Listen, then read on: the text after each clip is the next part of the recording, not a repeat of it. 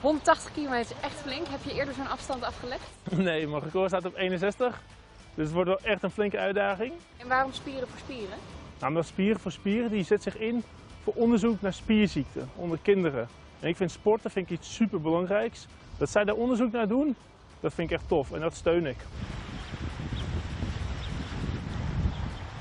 De eerste dag 80 kilometer, de tweede dag 60 en de derde dag 50. Dan zit ik op de 180, 190. Hoe ga je dat doen met je spullen?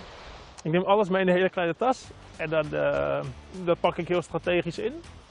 En dan eh, moet het goed komen. Twee onderbroeken, zes flessen water. Ja, ongeveer. Welk doel heb jij eh, gesteld? Mijn doel is 1000 euro en ik zit nu op eh, 60%. Mensen kunnen mij steunen via sportenvoorspieren.nl en dan zoeken onder mijn naam, dat is Thomas. En dan kunnen ze een donatie doen.